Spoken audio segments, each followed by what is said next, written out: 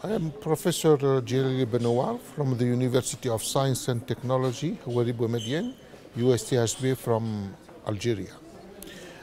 I would like to, to present the collaborative project called PeriPeri U, which stands for Partnership uh, for Enhancing Resilience for People Exposed to Risk, which is coordinated by Dr. Ailsa Holloway at the university, based at the University of Stellenbosch in South Africa. This is a consortium of uh, 10 African universities for capacity building and consulting and disaster risk reduction. The consortium was first established in 2006 and financially supported by USAID. Now there was two phases. Now we're entering the third phase, which started on the 1st of July uh, 2011 for four years.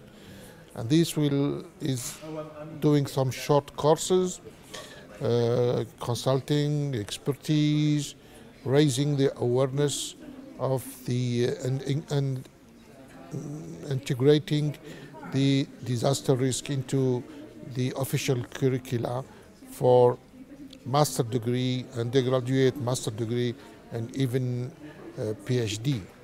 This is, I believe, for the last four or five years, this consortium has achieved um, its, its goals and has uh, trained more than more than a thousand people across Africa in various fields like earthquakes, uh, urban planning, hygiene, public health, um, all, all, these disciplines.